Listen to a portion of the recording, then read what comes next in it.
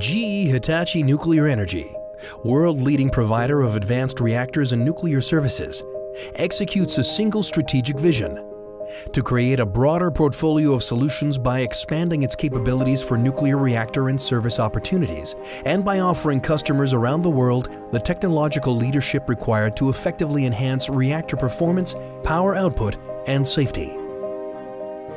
In early 2019, GE Hitachi Alliance with Virtualware, global provider of cutting-edge immersive and interactive solutions for training, engineering, and marketing, developed a virtual reality fuel movement simulator to train and requalify operators in nuclear reactors.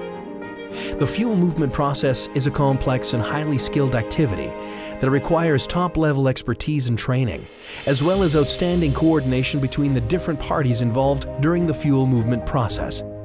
The Fuel Movement Simulator consists of an immersive virtual reality room which allows multiple users to collaborate in a refuel floor simulated nuclear environment. By means of a physical replica of the refueling mast, an indispensable tool for carrying out fuel movement operations, users are able to carry out fuel movement operations as if they were doing so in reality. Get ready.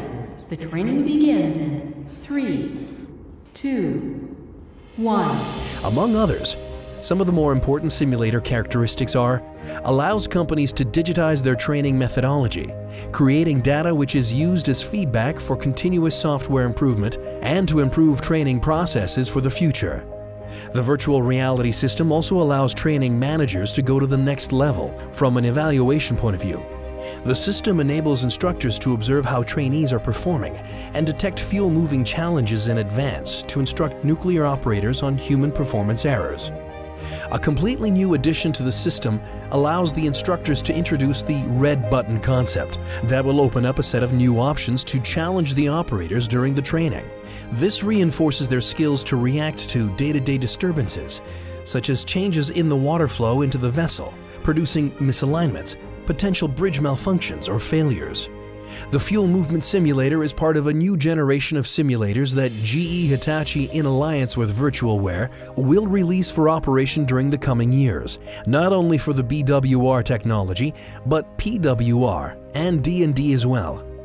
This initiative will improve the capabilities of professionals through intensive training and contribute to the reduction of both costs and risks. In addition, these systems will help nuclear customers to have just-in-time bespoke training solutions on site that will contribute to the reduction of operational costs associated with training and quality issues.